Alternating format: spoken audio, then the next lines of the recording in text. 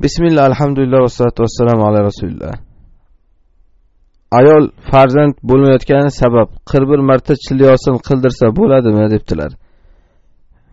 Chilyosin degan gap shariatda mutlaqo o'zi yo'q narsa. Ayol homilasi uchun bo'ladimi?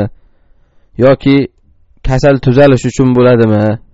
Har qanaqa narsa uchun chilyosin qilishlik bu narsa shariatda mutlaqo yo'q.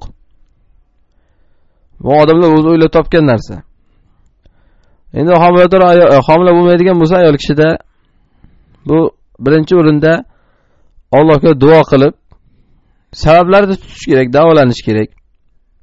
Qo'ldan kelgan davolanishni qo'llashlik kerak. Ollohdan so'rashlik kerak. Bundan boshqa chora yo'q. Shar'iy ruqiya bor to'g'ri.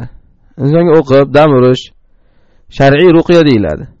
Har qanday suralarni o'qib dam uriladi. Lekin aynan yosinni qirq marta yoki qirq bir marta o'qib degan gapga dalil yo'q.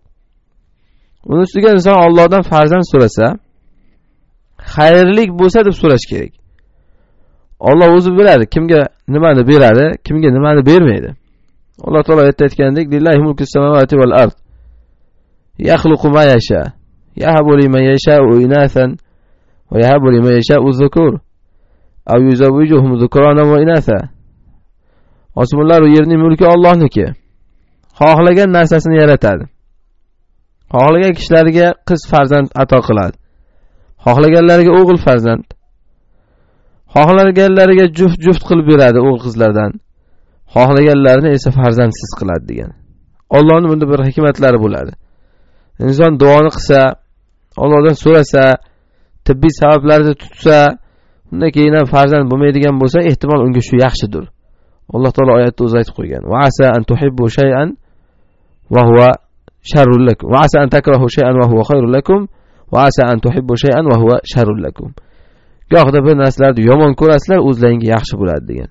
Gohida bir narsalarni yaxshi ko'rasizlar o'zlaringga esa u yomon bo'ladi degan.